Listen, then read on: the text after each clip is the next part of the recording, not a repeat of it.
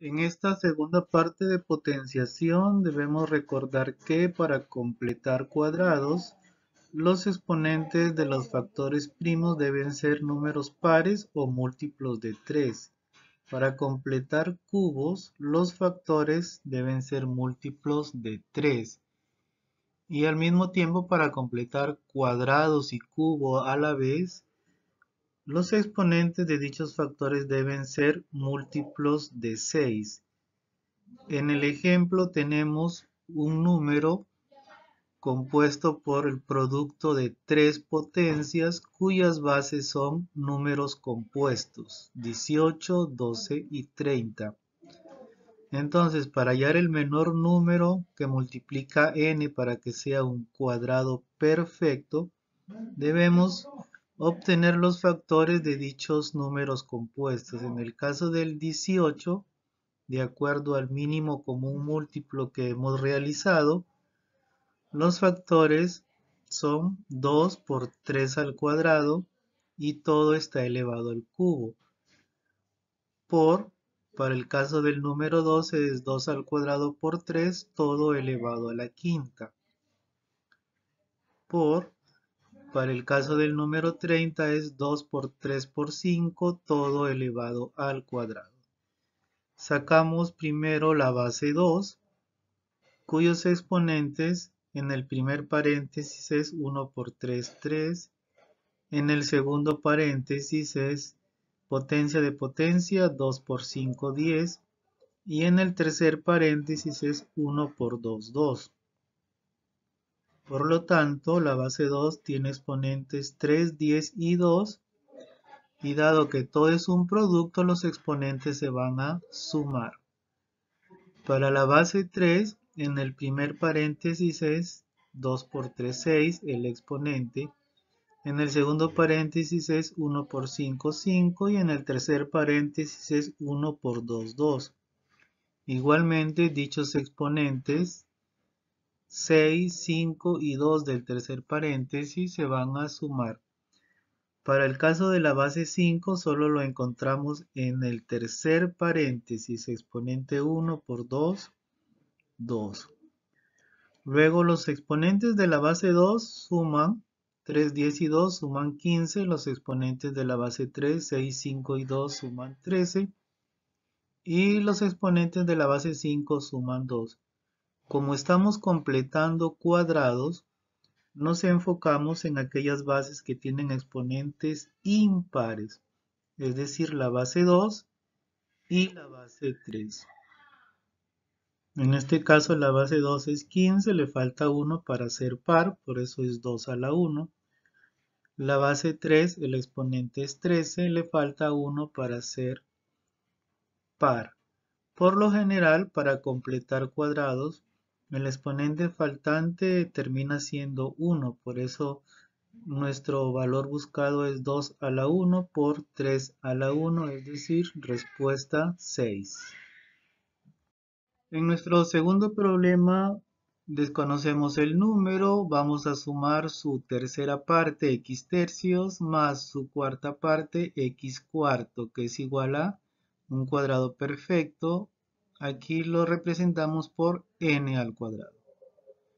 En la suma de x tercios más x cuartos, podemos multiplicar en aspa, donde los denominadores 3 por 4 me da 12.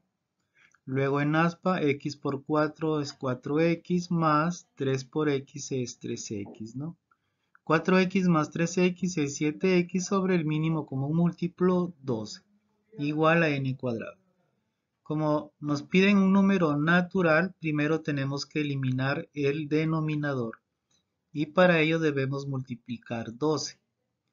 Luego, como el 7 no es un cuadrado, le multiplicamos un 7 y lo convertimos en 7 cuadrado.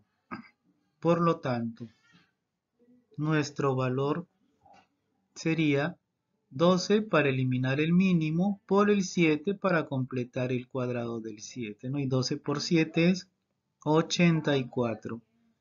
En nuestro tercer problema nos dice que entre dos cuadrados perfectos consecutivos hay 64 números enteros. Como desconocemos el primer cuadrado, lo representamos por x al cuadrado. Y su consecutivo sería entonces x más 1 al cuadrado.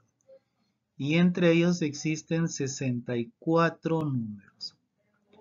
Luego entonces el primer término es x al cuadrado, los 64 números y finalmente el x más 1 al cuadrado que es igual a x al cuadrado más 2x más 1.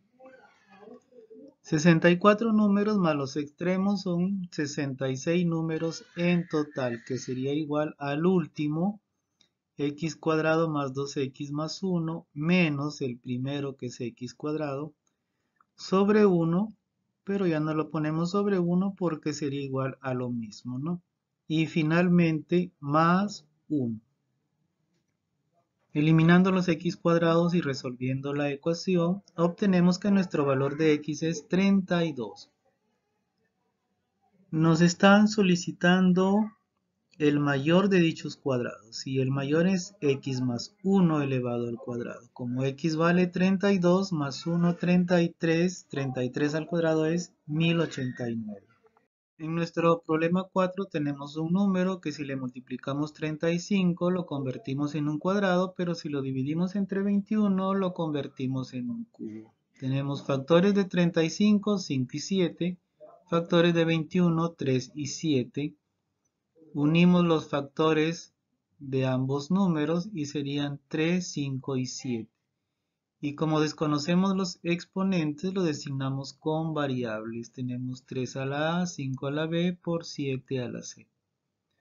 Primero le vamos a multiplicar el 35 y como 35 es 5 por 7 tenemos 3 a la A, tenemos 5 a la B por 5, entonces es 5 a la B más 1. Recuerden que productos de igual base los exponentes se suman.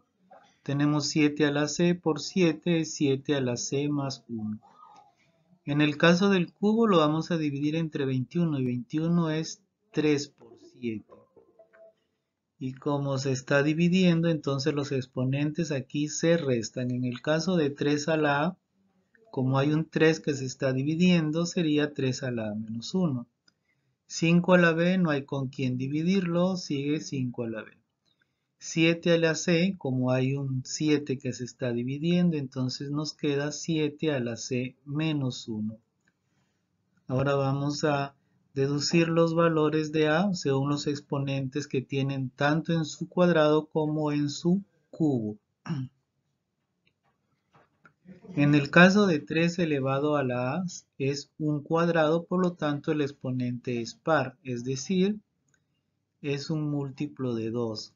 En el caso del a-1, el exponente de la base 3 es un cubo. a-1 es un múltiplo de 3. Entonces, un valor de a que restado de 1 me resulte 3 sería 4. Y 4 es múltiplo de 2, también por lo tanto el valor de a igual 4. En el caso del cuadrado, el exponente de la base 5, b más 1 es un múltiplo de 2. En el cubo, el exponente de la base 5, b es un múltiplo de 3. O sea, si b es un múltiplo de 3, significa que b puede ser 3.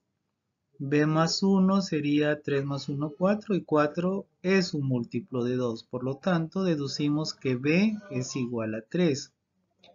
Para el caso de C, del exponente de la base 7, C más 1 es un múltiplo de 2, y en el caso del cubo, la base 7, C menos 1 es un múltiplo de 3.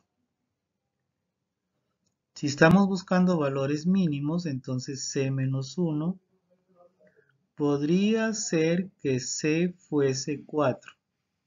Pero si decimos 4 menos 1, 3, correcto.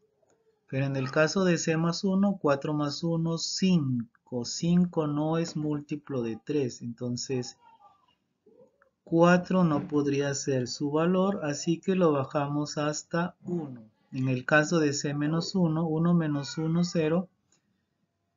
0 es un múltiplo de 3, ¿no? Y en el caso de c más 1 múltiplo de 2 sería 1 más 1, 2, 2 es múltiplo de 2. Por lo tanto, nuestro valor mínimo de c es 1.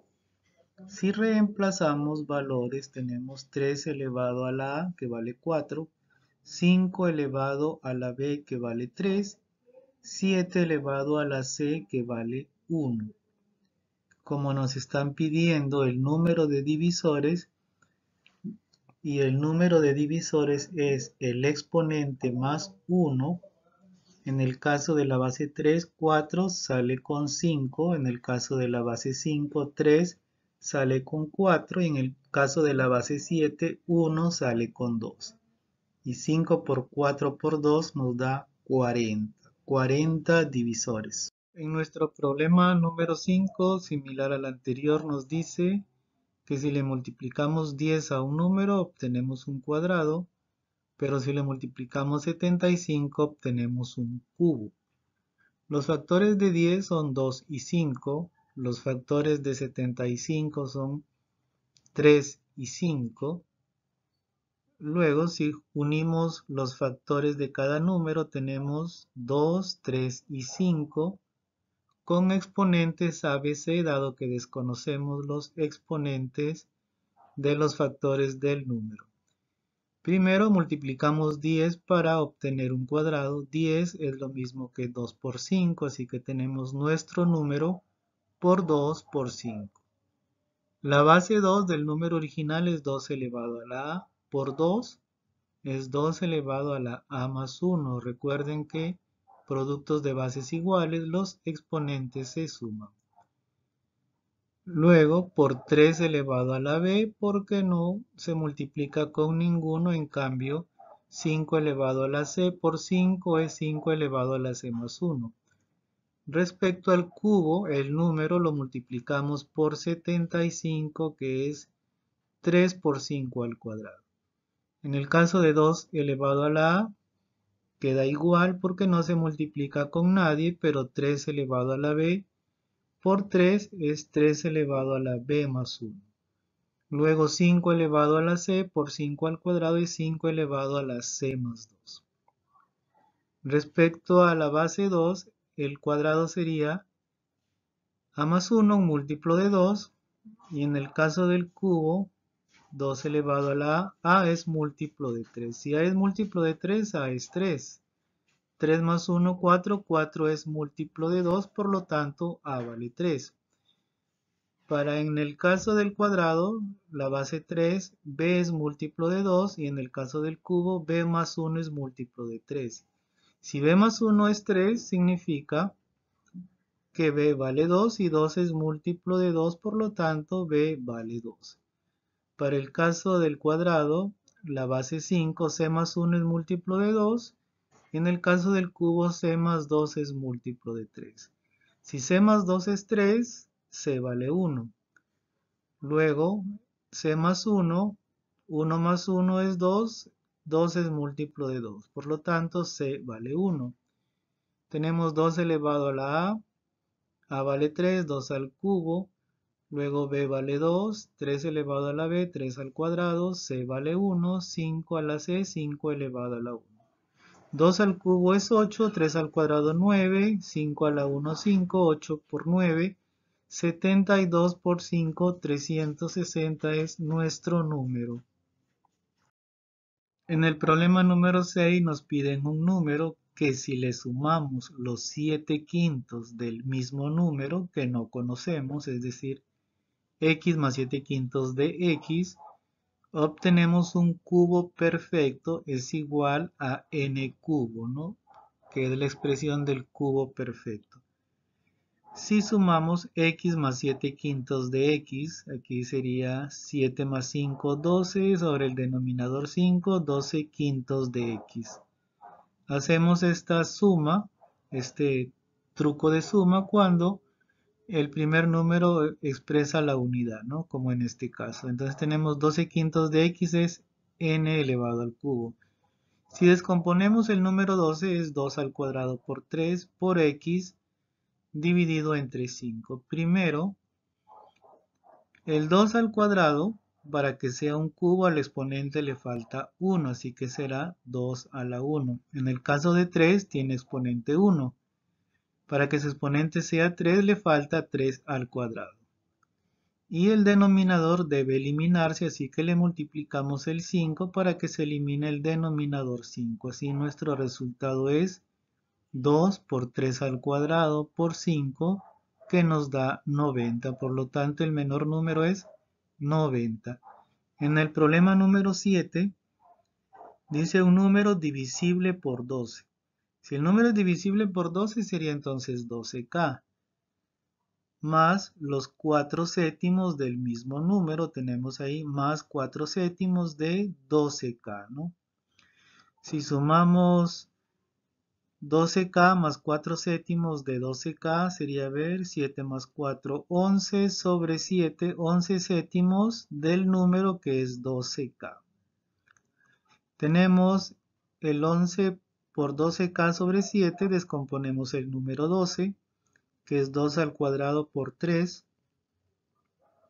Y luego completamos para obtener el cuadrado. En el caso del 11, le falta multiplicar un 11 para que sea un cuadrado. En el caso del 2 al cuadrado, ya es cuadrado, no se toca. En el caso del 3, le falta un 3 para que sea cuadrado. Y para eliminar el denominador 7, multiplicamos un 7. Por lo tanto, nuestro valor K es 11 por 3 por 7, 231. Pero como nuestro número original es 12K, sería 12 por nuestro valor K que es 231.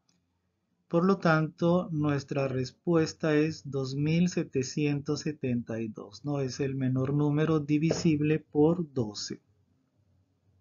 En este problema número 8 tenemos el número AB, multiplicado por 273 que se convierte en un cuadrado perfecto. Entonces definimos el número 273 por AB, Luego el 273 entre paréntesis vamos a escribir el número expresado por las variables AB y lo vamos a descomponer. Tenemos el primer AB y a la derecha de AB hay cuatro cifras, por lo tanto le vamos a multiplicar el número 1 por cuatro ceros, es decir, por 10.000. El segundo AB tiene dos cifras a su derecha, así que le vamos a multiplicar la unidad con dos ceros, es decir, por 100. Y el último AB no hay ninguna cifra a la derecha, simplemente le escribimos tal cual. Luego tenemos el 273 por, sumamos el 10.000 más 100 más 1, tenemos 10.101 por AB. Luego el, el 10.101 lo vamos a descomponer y tenemos que es igual a 273 por 37 y finalmente por AB. Como es cuadrado tenemos 273 dos veces y dos veces constituye un cuadrado. En el caso del 37 tenemos una vez y para que sea un cuadrado AB debe valer 37 para tener ahí mi 37 elevado al cuadrado. Por lo tanto, AB es igual a 37 y la suma de los valores AB sería entonces 10.